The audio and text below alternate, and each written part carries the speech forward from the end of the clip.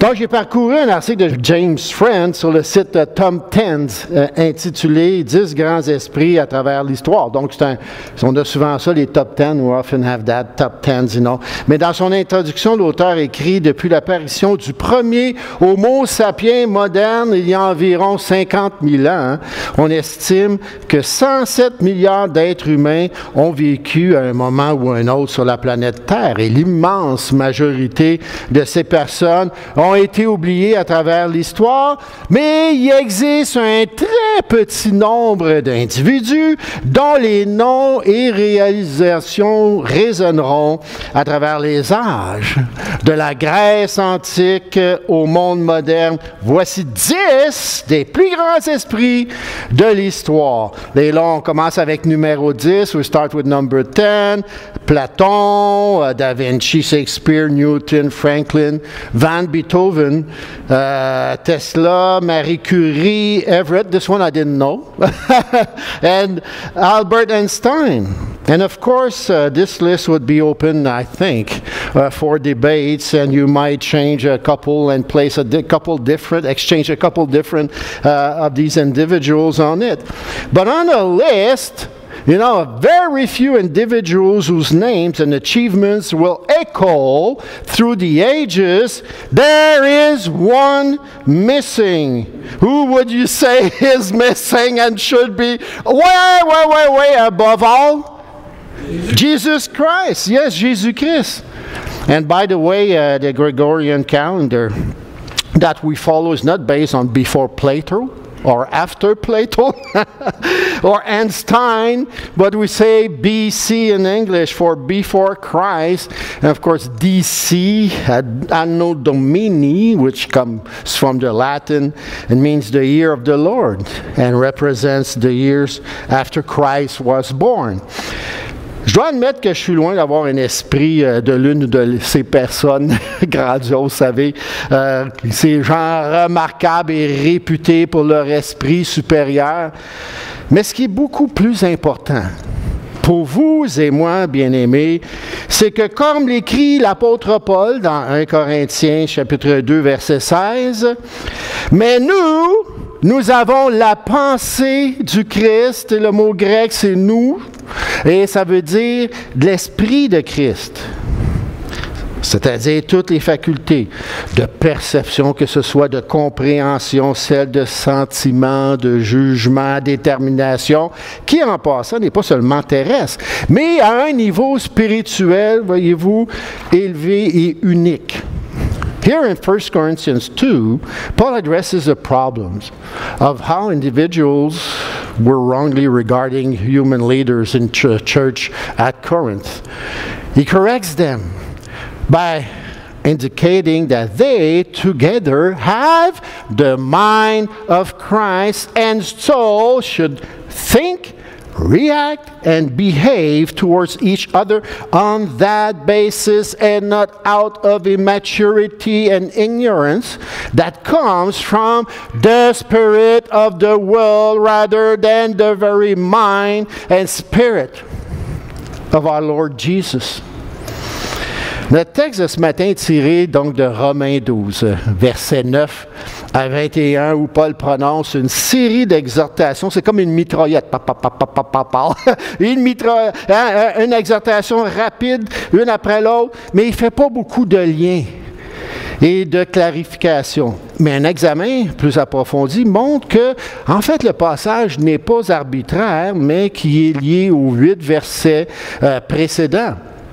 C'est-à-dire que Paul continue d'appeler à ce type de comportement produit par un esprit transformé, régénéré, renouvelé, qui est la réponse, Paul dit, la réponse appropriée à la miséricorde, la bonté même de Dieu, comme indiqué dans les deux premiers versets du chapitre 12, qu'on va maintenant prendre le temps de lire afin qu'on puisse en connaître le contexte de notre passage aujourd'hui. So read from Romans 12, verses 1 and 2 so we can get the context of our passage this morning. I appeal to you, therefore, brothers, by the mercies of God, to present what? your bodies as living sacrifice, holy and acceptable to God, which is your spiritual worship. Do not be conformed to this world, but be transformed by the renewal of what? Your mind that by testing you may discern what is the will of God, what is good and acceptable and perfect. And on that basis, Paul writes in Romans 12, verse 9, the first verse of our text this morning let love be genuine. Do you say genuine or genuine? Whatever. You get what I mean? Let's say sincere, all right? That's simpler. Holy as, uh, uh, and uh, hate what is evil, hold fast to what is good. And Paul continues here to call for that kind of behavior produced by a transformed, renewed mind in conformity to Christ. And that is the proper response, he says, to God's mercies. Love is the, the, overarching paradigm for the whole passage. And of course, uh, our example for how to love is, our supreme example is Jesus Christ Himself, who came as one of us to reveal the love of God, of the Trine God, and He lived it perfectly. Dans le commentaire Working Preacher, sur notre texte de ce matin dans Romains 12, versets 9 à 21, Israël Kamuzendou écrit ce qui suit. L'harmonie de la Trinité n'est autre que la pratique de l'amour. La pratique de l'amour.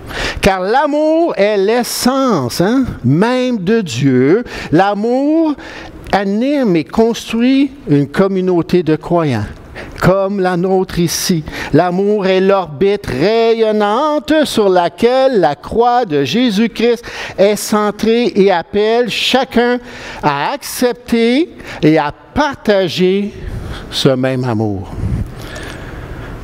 Donc l'Église peut être considéré, on pourrait dire, comme un genre d'incubateur. Vous savez, un incubateur pour la formation de l'amour parmi les croyants, afin qu'on puisse vivre justement cette vie d'amour et de service à un monde beaucoup plus large et de plus en plus varié. Et c'est donc dans l'Église qu'on est entouré et soutenu par l'amour immérité et inébranlable de Dieu et que cette communauté du Christ. Mais en pratique, l'amour qu'on reçoit et qu'on expérimente dans la Trinité, parce que Jésus nous a emmenés justement en communion avec le Père et le Fils, et on sait que le Père et le Fils vivent en nous à travers le Saint-Esprit. So Paul echoes Jesus in calling attention to love. And a key operational norm for God's people, you know, who are bearing, as we know, the very nature of God, since as Paul had already said in Romans 5 5, God's love has been poured in, on, into our hearts through the Holy Spirit.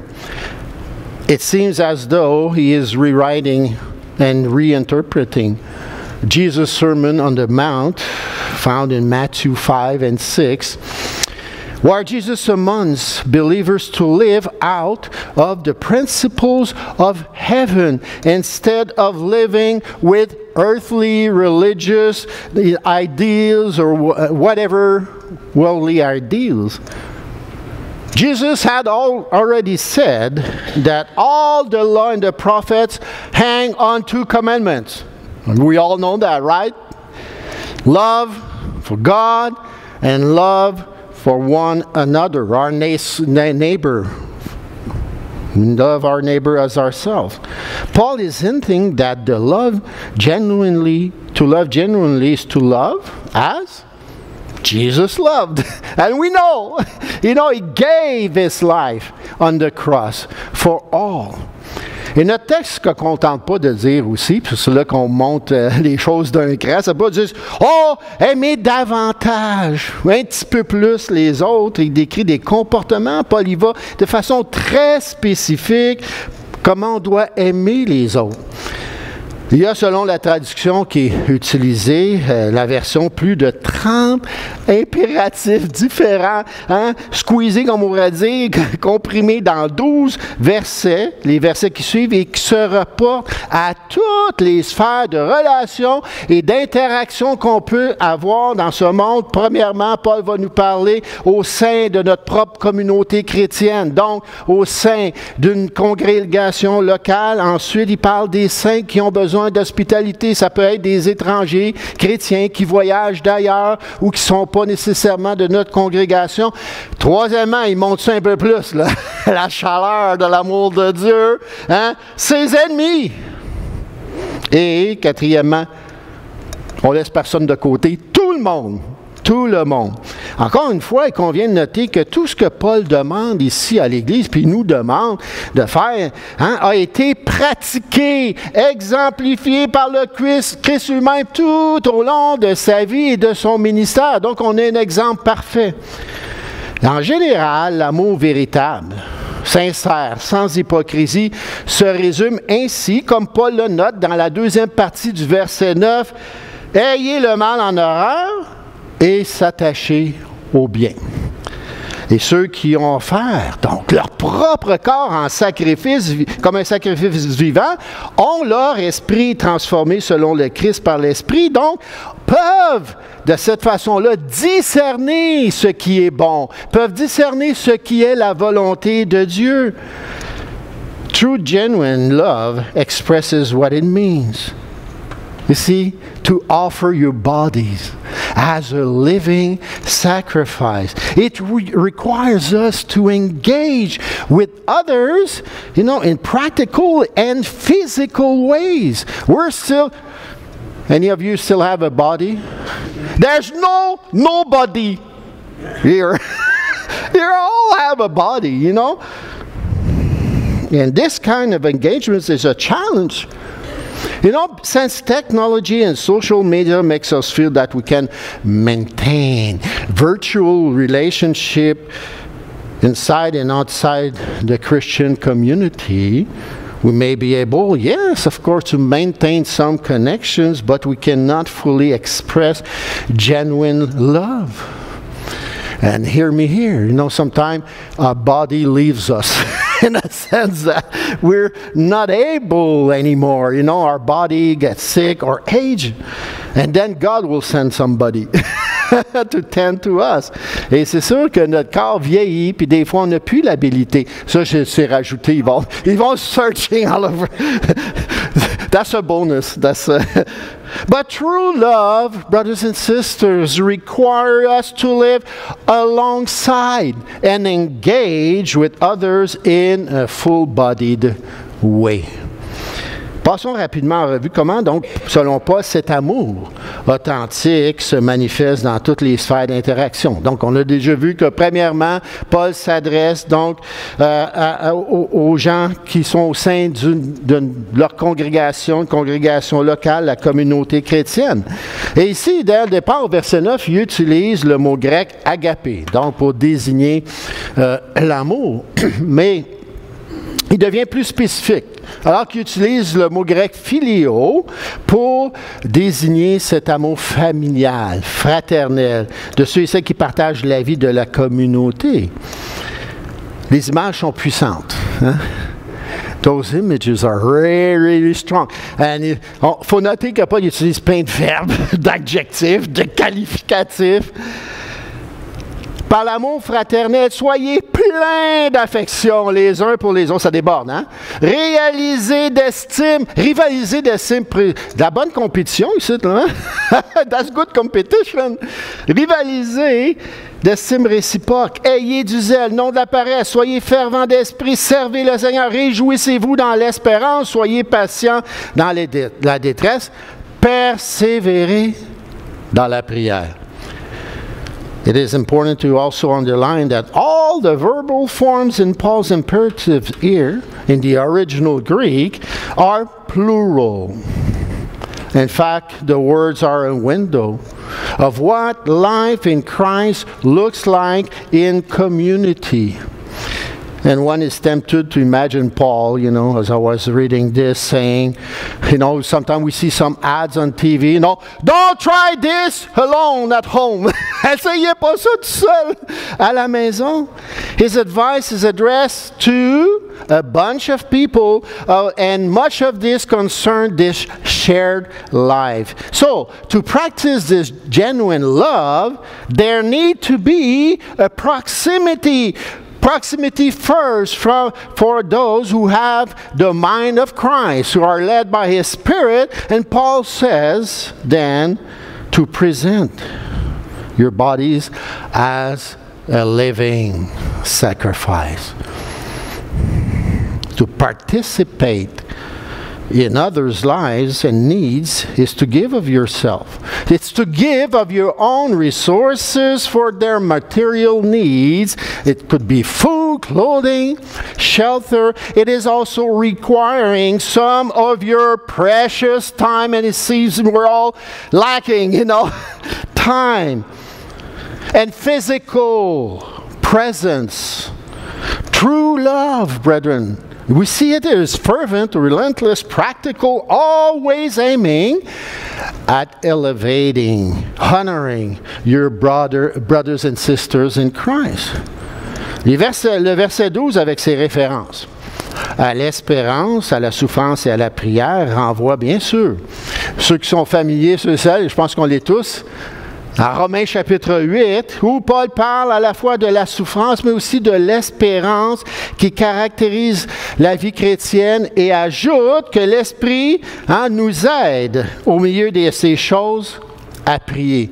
On n'est pas laissé à nous-mêmes. Et en d'autres termes, donc les personnes à qui il dit Réjouissez-vous dans l'espérance, soyez patients dans les tresses, persévérez dans la prière, ce sont les mêmes personnes à qui Paul a déjà dit, hein, au verset 18 du chapitre 8, que les souffrances du temps présent ne sont pas comparables à la gloire qui va, nous, qui va être révélée pour nous.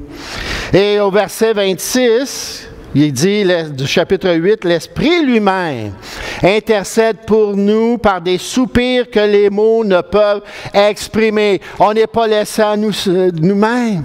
L'Esprit est là. Et ça fait partie d'avoir cet esprit renouvelé, l'Esprit de Christ. Et il ne fait aucun doute. Aucun doute et si vous pouvez vous pincer, si vous êtes toujours, vous avez un corps, vous sentez quelque chose, qu'on a tous et toutes hein, vécu toutes sortes de séries d'épreuves et peut-être de tribulations au cours des dernières années. Et pour certains, ça a été, vous savez, rock'n'roll vraiment. Et fort probablement qu'on en traverse encore alors qu'on vit dans ce monde vraiment complexe. Mais ce que Jésus nous offre, bien aimés, c'est l'espérance ultime. Est-ce qu'on peut espérer dans ce monde? Ben, tant mieux. Oui, il faut continuer à y vivre. On n'est pas pour tomber euh, tout le temps en dépression sur le fait que le monde va mal. Mais on a cette espérance, cette espérance ultime. Pourquoi? Pour nous aider justement à traverser toutes les circonstances auxquelles nous, nous et nos proches sont confrontés. On ne le fait pas dans la haine ou dans la confrontation, mais dans l'amour, alors qu'on interagit avec les gens avec qui on entre en contact. Deuxièmement, Paul en met l'accent so, oh, that should be the other way around. I get mixed up. Secondly, Paul emphasizes love for the saints or those who are, need hospitality. In verse 13, he exhorts, contribute to the needs of the saints, extend hospitality to strangers. So Paul uses the term saints at least uh, in two ways. Sometimes he uses the plural form to refer to those in Jerusalem for whom he had been collecting funds. Uh, other times it seems to refer to the church in a more general term.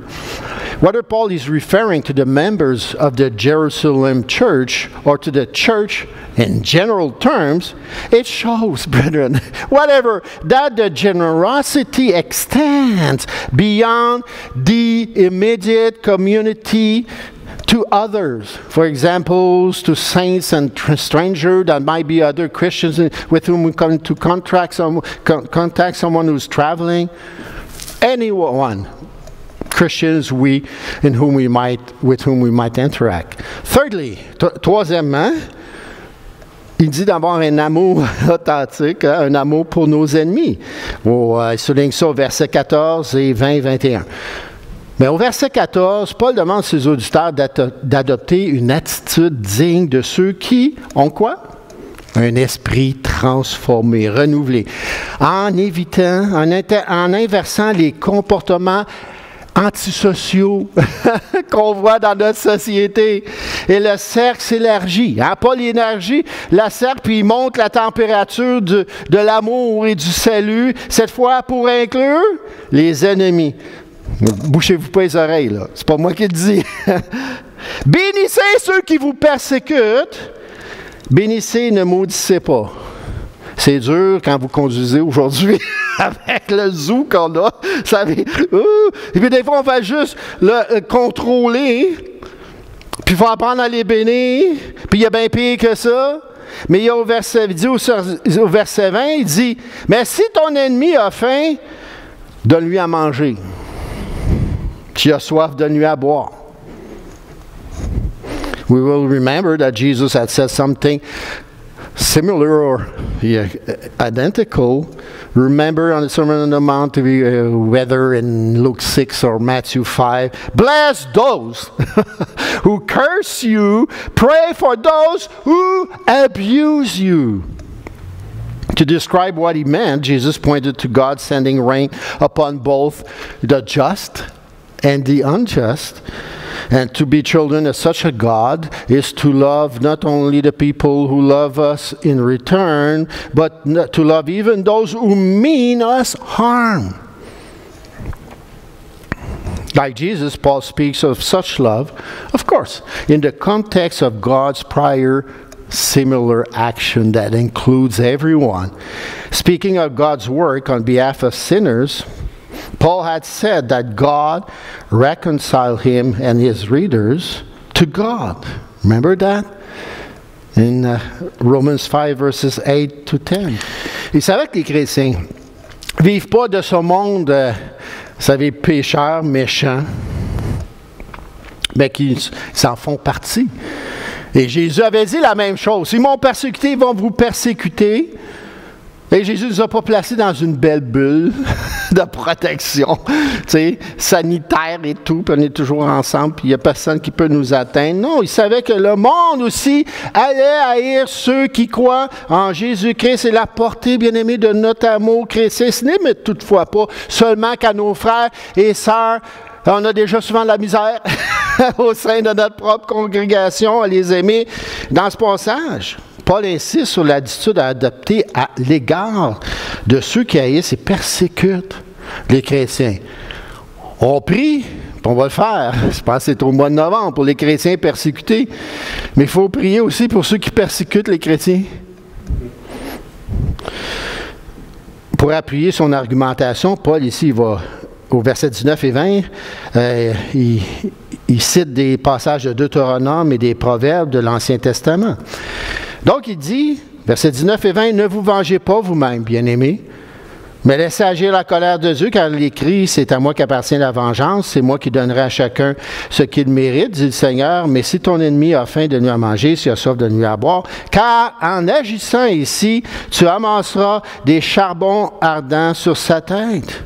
On augmente la chaleur ardente de l'amour de Dieu et de son salut pour tous. So instead of treating our malefactors with contempt and seeking revenge, we are to re- repay their evil expressions with, with expressions of goodness. Easier said than done. Would you agree? Am I alone to say, whoa, that's not easy?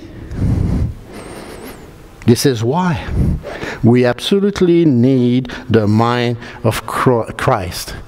Being transformed in His image through the Holy Spirit, so being motivated by His love, we might see, we might see even our own enemies as He sees them for who they are beloved children of God, loving them as He loves them, and as He loved us while we were still His enemies. Does that make sense? Not to our carnal human nature. Verse 21, verset 21. En français, laisse-toi pas vaincre par le mal, mais surmonte le mal par le bien. Vous savez, frère, ça, les chrétiens peuvent jamais justifier le fait de rendre le mal par le mal. C'est l'esprit du monde. C'est la tendance absolue de notre vieille nature, mais en faisant le mal en réponse au mal, on redevient l'objet du mal. Pas compliqué. Le mal reste toujours le mal. Quelle que soit l'ampleur de la provocation, la noblesse de la cause, et souvent on va dire Ouais, mais la fin justifie les moyens.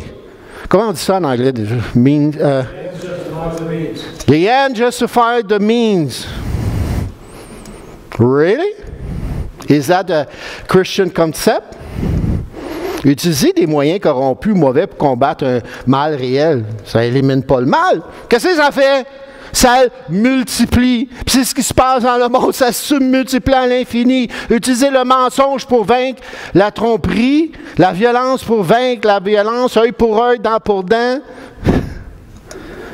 L'abus de pouvoir pour vaincre l'abus de pouvoir, diviser les gens pour vaincre la division. C'est pas la voie de Jésus, ça. Puis en réalité, ça renforce hein, le mal, l'emprise du mal au lieu de le vaincre. Mais vous et moi, avec l'Esprit de Christ, on est appelés à renverser le mal par le bien. So, if instead the Christians return good for evil, the world will recognize the excellence of his conduct and may therefore be won over to Christ. Turning on again the heat of God's love and salvation for all humanity through love. Is that what Jesus did?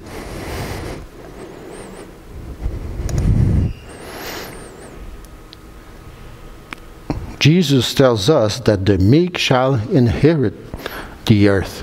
He also tells us to hunger and thirst for righteousness and using only good means to overcome real evils while, while refraining from using evil means.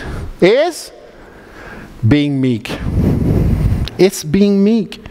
And Jesus himself is the meek one who never, never return evil for evil, but overcome evil on his cross. And we'll celebrate that, what it means. Instead, it is for Christians to live and act in light of God's mercies. And our job is to show love, not to act as judge, and that's something Christians often like to do, but they forget what Paul had already said in chapter 2 what happens to people who pass judgment on others? They end up failing under judgment themselves because they deny the very grace of God and His mercies that they are under. Because Paul's audience has been shown mercy they show mercy by tending to enemies, their enemies in need, the same way they provide for material goods for their brothers and sisters in Christ. Remarquez que Paul, il ne demande pas simplement à ses auditeurs de pratiquer la maîtrise de soi ou le contrôle de soi. Et il y a plein de livres dans les bibliothèques si vous voulez en savoir plus là-dessus. Lorsqu'ils sont provoqués. Ils doivent faire plus que de s'abstenir de rendre le mal, ils doivent commencer à faire du bien à leurs adversaires. Et c'est ça, c'est beaucoup plus difficile, encore une fois. Mais en faisant ça, les chrétiens surmontent le mal par le bien, montrant qu'ils s'attachent fortement au bien, exprimant ici la définition de ce qu'est l'amour véritable.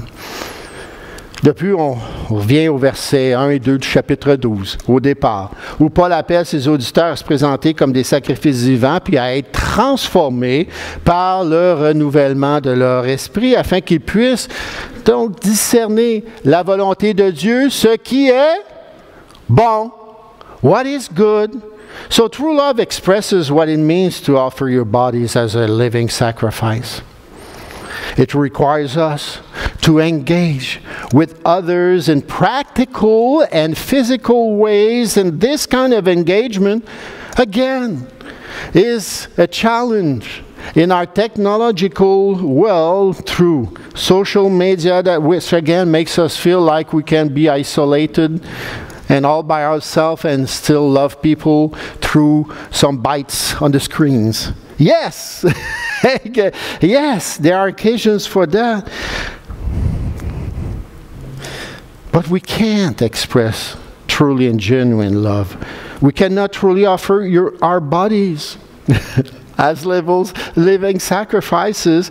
True love requires us to live again alongside and engage with others in full bodied ways. Quatrièmement, that's a short one. L'amour pour tout le monde, basically puts everyone back into the same basket. Ça nous ramène tous. Donc, la quatrième, qui est l'amour pour tout le monde. Le cercle des personnes avec lesquelles le chrétien entretient des relations d'amour s'élargit.